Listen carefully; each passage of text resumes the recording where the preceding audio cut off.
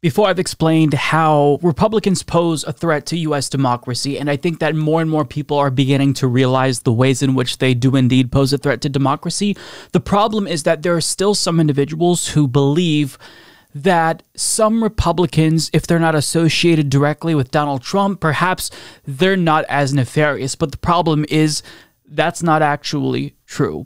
So, one thing that really comes to mind is this conversation that Bill Maher had a couple of weeks ago about Ron DeSantis and how he was preferable to Donald Trump because at least Ron DeSantis, unlike Trump, doesn't pose a direct threat to democracy. The problem is that that's not true. Sure, it is the case that some Republicans do not pose a direct threat to democracy, but there are so many elected Republican officials that pose a direct threat to democracy that I think that you can generalize and say most of them do and be pretty accurate, especially when it comes to someone like Ron DeSantis, who in no way is the savior of American democracy if he wins out compared to Donald Trump. As Brett Bachman of Salon explains, public universities in Florida will be required to survey both faculty and students on their political beliefs and viewpoints with the institutions at risk of losing their funding if the responses are not satisfactory to the state's Republican led legislature.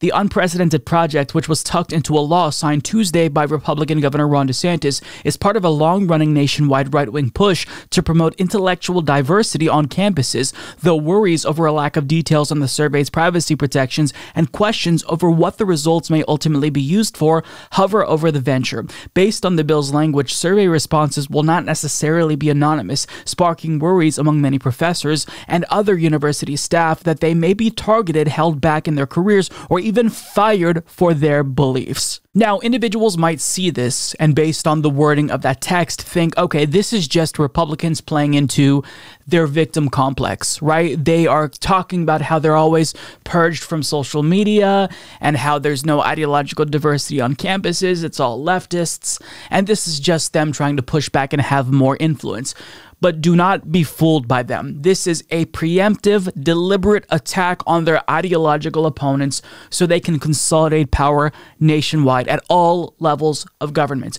Let me remind you, this is not the first time that Ron DeSantis has attacked his ideological opponents. In this same state, he decriminalized running over protesters effectively. He banned protests outside of residential areas. He banned 41% of math books citing critical race theory as the reason. And because of his Don't Say Gay law, attorneys for the Orange County School District are instructing teachers to remove photos of their same sex spouses and out students to parents. And also, what's happening in Florida is 13 year olds are being arrested for the crime of protesting because Ron DeSantis has made it very clear that he doesn't want protests to be a common phenomenon unless it's the right wingers who are doing it. Now, it's not like Ron DeSantis ordered the arrest of this 13 year old that we're about to see, but this is the environment that he, as governor, has cultivated. Take a look. Lily, just don't resist. Lily, don't resist, honey. It's okay. I got you. What is the state statute? Lily, you're okay, bud. I got you. Mom's right behind you.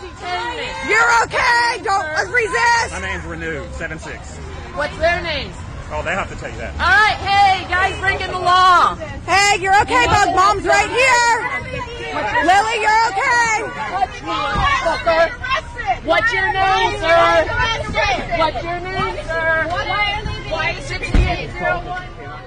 Now, to be clear, nobody knew why that child was being arrested.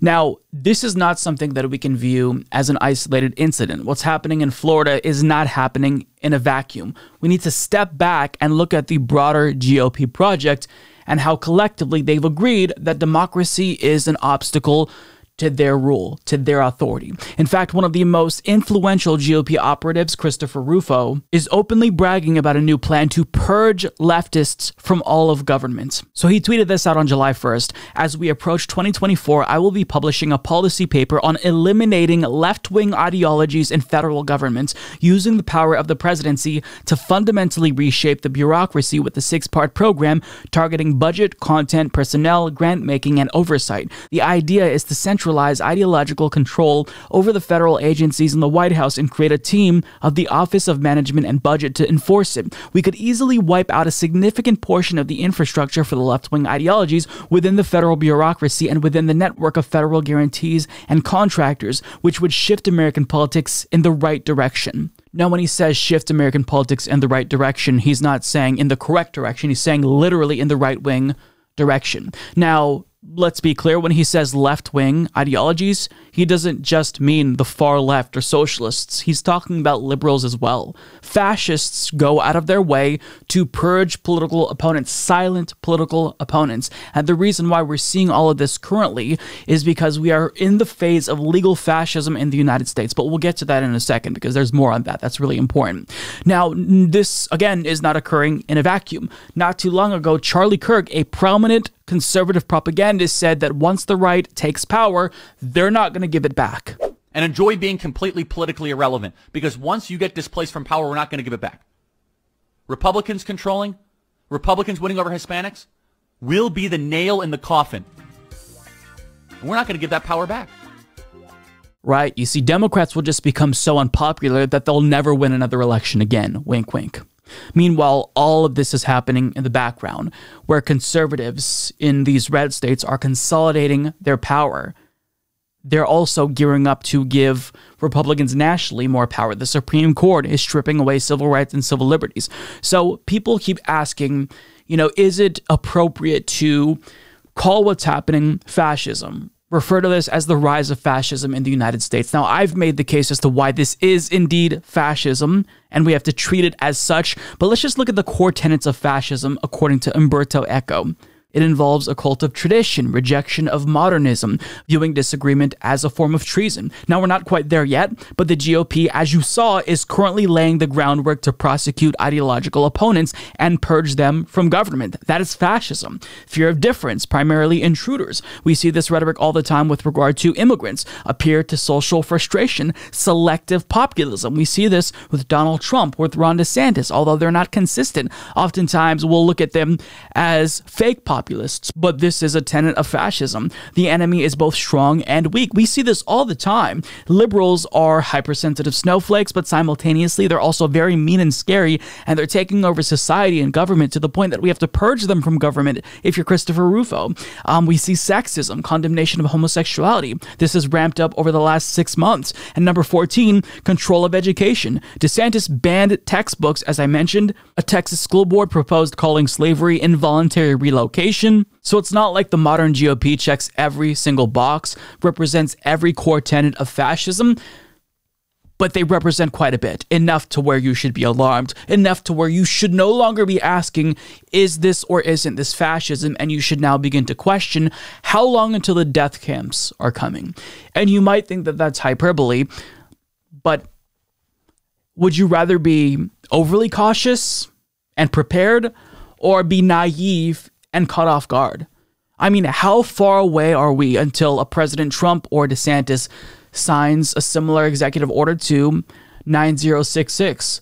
Where they place LGBTQ plus people in internment camps, citing an imminent danger that they pose to children. They're already laying the groundwork for this, both socially, culturally, and legally as well. And if you think that that can't happen in America, ask Japanese Americans about that. FDR signed Executive Order 9066 that placed Japanese Americans along the West Coast in internment camps. And FDR was doing an explicitly fascist thing while he wasn't even a fascist himself. So imagine what kind of fascism actual fascists are going to carry out here in the United States. Now, if you haven't read Jason Stanley's How Fascism Works, I recommend it all the time. I would highly encourage you to read that because it is very illuminating. And more importantly, it's frightening. It serves as a wake up call. Now, in a recent interview, he described how what we're witnessing currently is the legal stage of fascism. Take a look. It's a pivotal moment because right now we're seeing the legal mechanisms to steal an election being formalized. We're seeing uh, a system put in place that will enable permanent minority rule. You you you said that this is we are now in the legal phase, and you see historical you see historical precedents for this, and you say it's almost like a a, a conversation that has gone on for a century between the you know Americans who have you know fascist solutions to national problems and kind of the European experience. And you're saying now this sort of two-way conversation has resurgent is resurgent in the United States through legal means. Many conservatives, many of the most prominent conservatives, sort of scoff at the criticism of these what they call voter integrity measures. They say that some of these measures that are being enacted in in the southern states and also really in states around the country that they're just trying to uh, implement voter integrity. They're just trying to give people confidence in our election systems. How do you respond to that? Always call, say about your opponent what you are yourself doing. That's what we're seeing. We're seeing massive projection. We're even seeing the fascist label being thrown at uh, at Democrats, right? So projection is a standard propaganda tool. It was one that uh, Goebbels and Hitler both explicitly recommend, but it's not just fascists who who engage in it. But we're seeing this massive projection. It's almost like you can tell what the Republicans are doing by what they say the Democrats are doing. Well, we have to interrogate this. Uh, electoral integrity. What does that mean here? Well, you have to filter it through a kind of fascist loyalist lens, which means only the real people people of the country should get to determine who the leaders are. And so it's not a really fair election if everyone gets to vote. And we're seeing this again and again. We're seeing Republicans, including uh, former President Trump, say this: if we don't pass these laws, everyone will vote. We'll see them be. We're seeing them being very explicit. Uh, so the idea is that a, a real election is w- one where only you know the real Americans vote, and this goes back to uh, this idea, which is uh, unfortunately, unless things radically change, going to be a reality of a, a, permanent minority running this country who, in the eyes of that minority, are the real Americans. He is absolutely correct. Now, this interview took place before we learned that the Supreme Court would be taking up the case of Moore v. Harper in their next session.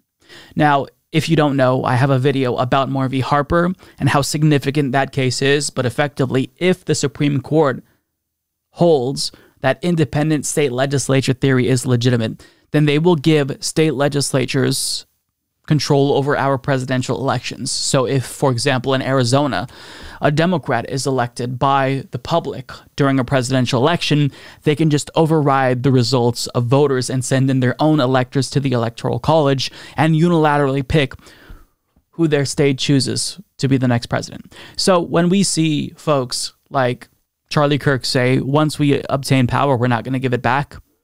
Legally, they are laying the groundwork to do just that. Jason Stanley, an expert on this, is saying they are currently creating the legal framework for an authoritarian uh, fascist takeover.